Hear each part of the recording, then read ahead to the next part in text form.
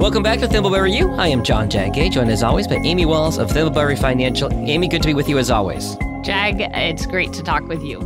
I'm excited about today's topic too. This is right in your wheelhouse. We are talking about the 50 30 20 budgeting rule. I know that our target audience, especially folks you work with at Thimbleberry, busy tech, healthcare professionals, they struggle with time management in their personal lives. This is the real easy way to do things, right? It is. And here's the thing as a financial advisor, we don't actually get into budgeting with our clients. Now, we have our clients identify where they spend money. Mm-hmm. You don't know how to change a behavior if you need to change it if you don't know what you're actually doing. Mm-hmm. So budgeting is something we get into, but we we do want budgeting to be simple because our clients are busy. Who has time to to budget to the penny? So I think this concept really helps break it down. All right, we'll start at the basics, Amy. What is the 50 30 20 budgeting rule? Of your income coming in, it's the idea that 50% goes to necessities, 30% goes to wants, Mhm. and 20% gets saved. Now, these aren't going to be the perfect numbers for everybody, but they're putting us in the ballpark. Good starting point. When we're working with our clients, we're figuring out how much they need to be saving. So that number may shift, and then the 50 and 30 may need to shift. But it gives us an idea of, you know, looking at everything we do. One, is this a need or a want? Right. Mhm. And what do we need to do for our longer term financial future and goals? When you say need versus want, that can be different for different people, for sure. Absolutely. All right, so as I mentioned, Amy, uh, as we talked about on the podcast before, you work with a lot of tech and healthcare professionals. How does this budgeting rule help them? Yeah, when you're busy, focusing on your career, focusing on your family, your hobby, the last thing I think these folks probably want to do, especially because they do have enough money coming in, Mhm. is have to worry about where each penny goes. It's just not fun. It doesn't feel productive, right? Because it's getting into the minutia when maybe a 10,000 foot view could be better Okay. or could be just as helpful rather than better. Mhm. So the 50 30 20 rule allows for that higher level view and a larger bucket categorizing to know am I proportionately correct? Okay. So what it's really doing there is it's prioritizing time savings and money savings to say, yep, I'm in the ballpark. This passes a smell test, if you will. Mm-hmm. And when we do that, it can alleviate some stress or anxiety. Um, stress being things that come from the outside, anxiety being things that stress us from the inside. So, for any individual, it can potentially alleviate some of that concern to be able to say, I can let go, I can breathe, I can maybe go play and do the things that I want to do and use my energy towards its best purpose Okay. rather than digging into the budget. There we go. Well, let's start with the 50. Talk about the necessities. Necessities, there are needs, right? So their housing, their transportation, utilities, they're also taxes. Yeah. So that is one that people often overlook in this category because they think, hey, taxes are coming out of my paychecks. I'm good. Nope, taxes fit into this category. So just to be clear, Amy, what you're saying is I need to pay my taxes. You need to pay your taxes, but also if you owe taxes at the end of the year, setting money aside for this, paying quarterly taxes, etc., that's part of this needs bucket. Got it. Something I do want to address here is that in this area, we're talking about needs. But let's say at some point you bought a second home. Mhm. Ultimately, that house is not a need, but paying for it is a necessity Ah, at that point, or getting rid of it would become the other decision. So when we look at needs and wants, necessities or wants, that second home could fall into the necessities category versus the wants category. And I think that's going to kind of depend per person and their situation. Mhm. If that makes sense. Once you've made a long term financial commitment, it can still be a want, absolutely, but it may categorically be more of a necessity. got it. Okay. So, if one of our listeners goes through this exercise and looks at their spending, at rough numbers and says, gosh, my needs are 60 or 70% of my spending, um, no wonder I'm not having so much fun, right? Because my wants are much smaller than this 30%. What can they do? Well, that is a good time to make some tough decisions. Maybe if you've got a second home in your necessities, it might be time to consider is that what you want to be spending on or is that what's making your wants number so so small? Then there's the choice of do you use that second home or do you find yourself going on lots of other trips? Yeah.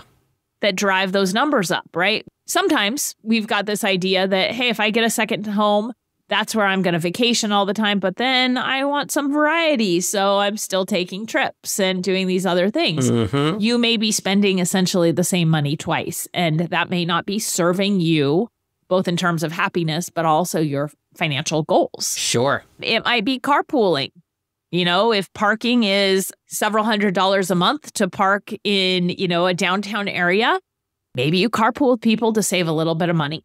For, I know, for an example, um, since COVID, my wife and I have both been working from home since March of 2020, and it's not changing. We downsized to one car. It's very rare that we would both need the car the same day. And when that happens, we coordinate and we work it out. You know, you talked about some things going from a, a want to a need. The car kind of went from a need to a want because we didn't need the second car. The car payment and the insurance, we're good with just the one. Yep. My husband and I periodically have this conversation, but with two kids at different ages running in different directions, we haven't been able to That's fair. coordinate that one yet. But I'm in full agreement with what you said. There's also some things that you can do in this area uh, for your necessities to help, you know, cost savings tips if you're finding you're over meal prepping and looking at bills, maybe for things that are necessities like groceries, Mhm. but that can go over. You give yourself a weekly or a monthly budget Yeah. clothes. They are a necessity, right? Uh, Portland does have the naked bike ride. That's one time people don't have to. so, giving yourself a weekly or a monthly budget, maybe into a separate spending account for those types of things, can be helpful to help keep you on track because the numbers can vary. You know, I can go to the grocery store and I can buy filet mignon, or I can buy uh, ground turkey. you know? And then one thing, because we do work so much with our tech and healthcare clients, there is something related to our tech clients or anybody working in tech that applies to these necessities. And that is equity compensation. It tends to come in in um, spurts. You know, maybe it's once a year, maybe it's quarterly. That equity comp is income Yeah. but it can be dangerous to have it become part of your lifestyle and your overall income. Let's say the equity compensation accounts for $100,000 of your income in a year. Mm-hmm. And you say 50% of that is going to go to necessities. But next year, your stock price is really low, or you change employers and you have a year with no equity compensation coming in Yeah. it can be very dangerous to look at that equity compensation as regular income to be allocated to regular expenses in a 50% way. You could make the same argument for somebody who works in sales and is counting on their commission as part of their income. Absolutely. So, one way to maybe think about those dollars is maybe you have a home project that really, you know, since we're talking necessity, needs to be done. You'd really like for it to be done. It's more than just a want, but it's a one time project. Yeah. Maybe those funds go to cover the cost of that project. That would be a good example of using them so that it's a one and done Yeah. versus, as we talked about, like the ongoing expenses for a second home. Right. So that helps the necessary costs, Amy. What about the fun stuff? Let's get to the wants. Those are way more fun to talk about. Absolutely. Um, the wants are definitely the fun stuff. I've recently been reading a book on play and figuring out how to incorporate more play and the benefits of play. And wants aren't all play, but uh, that's where I go with them. There's some very big uh, studies showing the benefits of experience for long term happiness Yeah. uh, versus things. So with the wants, and we're talking about play too. uh, many of our clients work really hard and they play really hard. So we talked about necessities, the wants, it's about balance, right? It's about having both um, the things we need and the things that make our lives nicer and, and happier. So there are ways to manage discretionary expenses, which is what these wants are. So things like dining out and entertainment and hobbies. So earlier I talked about a weekly or a monthly budget. These can actually be combined. So, for example, one spending account that on a weekly basis you send money over to for both some of your necessities, like I said, groceries, but can fluctuate in terms of cost, but also your dining and entertainment and hobbies.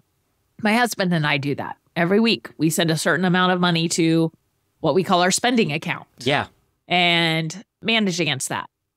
Other things to do for wants to help keep costs in control because they can, you know, escalate. Be that if you find yourself skiing regularly, for example, if you really get into it, buy the season pass. Yeah. If the math works, you can easily wait and say, oh gosh, until I go so many times, this may not make sense. I haven't proven to myself I'm going to do that. And if you're a kind of person that starts something and doesn't continue, that makes sense. But if buying a season pass is going to pay off after three or four times of going, well, then buying the season pass may be your best avenue. And you'll learn in the next year did you go or not? And you can adjust accordingly for the following year. You could absolutely. Um, using credit cards and using points from those credit cards to travel. That's one alternative. Now, many of my clients listening are probably going to say, wait a minute, we've had a different conversation. And the reason that we've had a different conversation on these wants is that using a credit card to pay many of your expenses can allow for justified spending, meaning I'm going to get points, therefore I'm saving this much by spending this. And so I should do it. And it causes increased spending. Yeah, the credit card thing is really interesting because I think about as long as it's stuff that you would be spending money on anyway, and as long as you can pay the full balance every month so you're not paying interest, because if you start paying interest, you're going to wipe out any benefit whatsoever you know, we've got the hack going right now. So in February, we're going to take my best friend and his wife and our, our goddaughter to Disney World in February. Awesome. We're going to take care of the flight and the tickets and everything. Well, my wife opened up an airline credit card, spend X amount within X amount of time, and you're going to get a bajillion points. It's not exactly a bajillion, it's a little bit less than that, but you get the idea. Can you define bajillion? Um, As a financial advisor, I'd like to know. No, I cannot. Okay, fair enough. I don't know. It's a lot of points. It's enough points that it's probably going to cover two or three of their airfare. How's that? Perfect. We're going to put our regular bills, the money we would already be spending, on that credit card until we hit the spending threshold. Get the points. Once the points go into the account, she's going to close the credit card. There you go. You're being disciplined about it and you're not using it to justify spending. I'm trying to find another word than justify justify spending money you wouldn't have otherwise spent. No, you're exactly right. Because on the flip side of it, I upgraded one of my credit cards to get more travel benefits because I travel a lot. And it was like the same thing. Spend X amount by this date to get all these benefits. And so a couple times I'm getting the you know a targeted ad on social media. Oh, that looks like a nice shirt. Or oh, I'm gonna go get takeout today because I can get toward that limit on my credit card. And at the end of that month, I went back and went, oh my gosh, I spent way beyond my budget this month. Uh, it's because I was spending on stuff I wouldn't have bought anyway. So I'm glad you made that differentiation. It's really important. And the psychological impact of that advertising is tricky. Yes. So I talked about play and the studies showing that experiences are really valuable. So once, one of the things I'd say too here is think about experience versus things. So, for example, maybe you're looking to buy your wife a birthday present. It may be better, you have to make the decision, not me, to forego something physical in an effort to have that experience. Here's the reason why. And especially if it's something for yourself. And I don't remember the, the source on this, the statistic I've heard several times. Within three days of buying something, so of making a purchase, we no longer get happiness out of that purchase. Wow.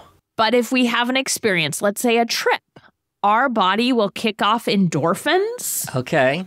Whenever we think about that trip for the remainder of our lives. Wow. Okay, let me go back to my goddaughter. Last Christmas, there was a present that she really, really wanted. It was the hot toy. I don't remember off the top of my head what it was. And my buddy could not find it in any store. We were able to find it and ship it to her. And she got the toy that she really wanted for Christmas and she was over the moon. Something tells me this Christmas, when she opens up the package and sees we're taking her to Disney World in February, I'm guessing the memories, I'm hoping at least, the memories of Disney World are going to be better than the toy that she got the previous year. Absolutely. Studies say that would be the case. Yeah, what a great trip. I hope you're you're like boxing the trip within another box within another box so that she has uh, many things to open in order to build up the anticipation and get to this Disney World trip. My wife is the resident Disney expert, so I think there's some sort of customizable gift you can we, we can mail her. She lives out of state that she can say, "Guess what? In X amount of days, you know, we'll see you at the Magic Kingdom." So there we go. So let's talk about the 20% going to savings before we wrap up, Amy. How can you make that easier? The first thing that comes to mind is setting up as much of it up to be automatic as possible. Yep um, setting reminders in your calendar. So, setting it up to be automatically, what I really mean by that is take advantage of your 401k, for example. Oh, yeah. Now, for the clients we work with in tech and healthcare, it's a low percentage of income that allows them to maximum fund their 401k. Yes.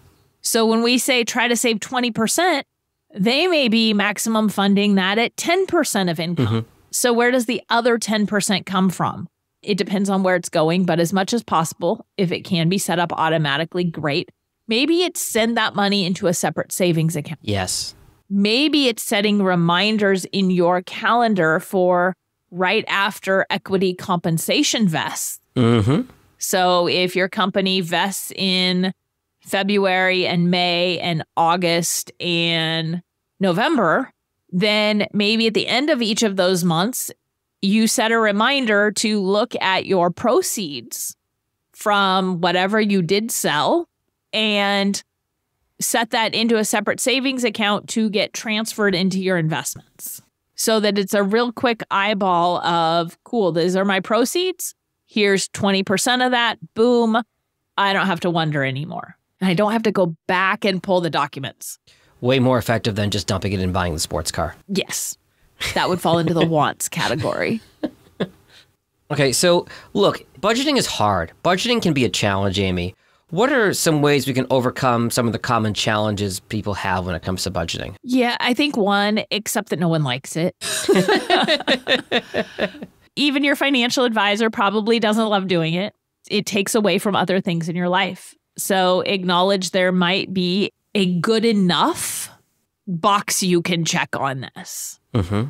and figure out what's most important to you, right? Knowing that your time is best used doing X, Y, and Z, your energy is refilled doing A, B, and C helps give that permission to not be as detailed, but set times to review what you're doing. So it's not so much the budgeting piece that is the time consuming part, it's the tracking what you've been doing against your budget. Okay. All right. So setting the budget with the 50, 30, 20 is a ballpark. Now it's actually breaking down your spending and saying, okay, approximately how much are we spending in these areas? And there are some quick ways to do that, such as downloading all of your expenses for the last couple of months. Yep into an Excel document. And if you set a calendar reminder to just do this every three months and then sort them by the, you know, gobbledygook thing on the statement that says where it's from yeah. or your bank account, sort by that, your grocery store is going to show up at the same spot. And then you can quickly figure out a ballpark of what you've been spending. And if you do that, say every three months, you're going to have history after a period of time to know if your expenses are shifting drastically. Especially as we all use cash so much less these days. It's much easier to track. There's an electronic record now of everything that you swipe or tap with your phone or whatever. Absolutely. Also, get professional help. Depending on your situation, some of the things we've talked about today may not make sense for you. But somebody who knows the ins and outs of how you think about money will have ideas on ways to make having your money go to the right spot be easier for you and still be on track for long term goals. It's that mindset that we've talked about in so many episodes of this podcast. You must have some success stories that could inspire our listeners who talking about this stuff, right? I do. One of the stories that first comes to mind ties to setting up a weekly or monthly budget. Mm-hmm. I know somebody that did that and within a few months of setting up a weekly transfer for their spending, had found they were saving so much doing that that they actually paid for their travel budget for the year. Oh, wow. And we're so excited about that cost savings and what else they could do with that money. And what that resulted in was peace of mind and permission to have that fun they wanted to have. So I think that's the ultimate success story is people going out and living the lives they want without the stress and still being on track for their goals. I can't wait to play this episode of the podcast when it releases for my wife because usually on Saturday mornings we'll sit down and she'll say, "You want to look at money for the month?" No, I don't, but I know we should, and and and, and we look at it and, and and put our heads together and figure everything out. So advice is certainly well taken, as always, Amy. If one of our listeners wants to talk to you about any of this stuff or anything related to their financial future, what are the best ways to find you? They can give us a call at 503 610 6510 or go online at thimbleberryfinancial.com. Good stuff as always, Amy. We'll talk in a couple weeks. Sounds great, Jag. Look forward to it. Registered representative, securities offered through Cambridge Investment Research Inc., a broker dealer, member FINRA SIPC. Investment advisor representative, Cambridge Investment Research Advisors Inc., a registered investment advisor. Cambridge and Thimbleberry Financial are not affiliated.